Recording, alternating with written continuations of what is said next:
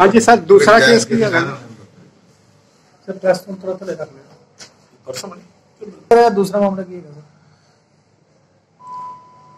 Sir? ਇਹ ਵੀ ਸਾਡੇ mister ਸਾਡੇ ਡਾਕਟਰ ਸਚੈਨ ਸਿੰਘ ਦੇ ਆਈਪੀਐਸ ਅਫਸਰ ਦੇ ਹਦਾਇਤਾਂ ਦੇ ਸਾਨੂੰ ਸੁੰਦਰ ਸਿੰਘ ਪੁੱਲਰ ਡੀਸੀਪੀ ਏਸੀਪੀ ਸਾਰ ਹਰਮੰਦਰ ਸਿੰਘ ਭਾਈ ਉਸ ਜਿਹੜੀ ਸਨੈਚਿੰਗ ਜਿਹੜੇ ਆ ਸਾਡੇ ਇਲਾਕੇ ਦੇ ਗਾਵਾਂ ਦੀ ਜਿਹੜੀ ਵਾਰਦਾਤ ਕਰਦੇ ਆ।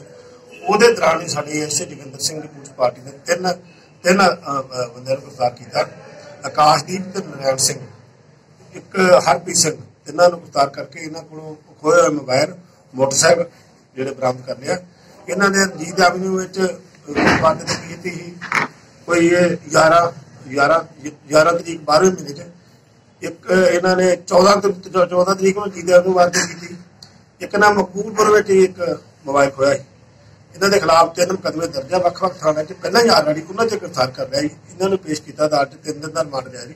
ਅੱਗੋਂ ਹੁਣ ਚੈੱਕ ਕਰਾਂ ਕਿਹੜੇ ਕਿਹੜੇ ਵਾਰਦਾਤ ਹੋ ਰਹੀ ਹੈ ਨਸ਼ਾ ਦੇ ਨੈਟਿੰਗ ਦੇ ਕੀਤੀ ਹੈ ਜੀ। ਉਹਨਾਂ ਪੁਰਾਣਾ ਰਿਕਾਰਡ ਕੀ ਹੈ?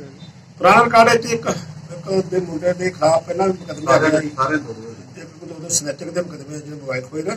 ਪਹਿਲਾਂ ਮੁਕੱਦਮੇ ਜੇਲ੍ਹ ਚੋਂ ਬਾਹਰ ਆਣ ਕੇ ਦੁਬਾਰਾ ਨੇ ਫਿਰ ਇਹੋ ਸਨੈਚਿੰਗ ਦਾ ਕੰਮ ਸ਼ੁਰੂ ਕਰਤਾ ਜੀ। ਸਰ ਨੈਸ਼ਨਲ ਸੇ ਨਸ਼ੇ ਦਾ ਆਦੀ ਹੈ ਨਸ਼ੇ ਲੈਂਦੇ ਜੀ ਡਰਗ ਲੈਂਦੇ ਜੀ।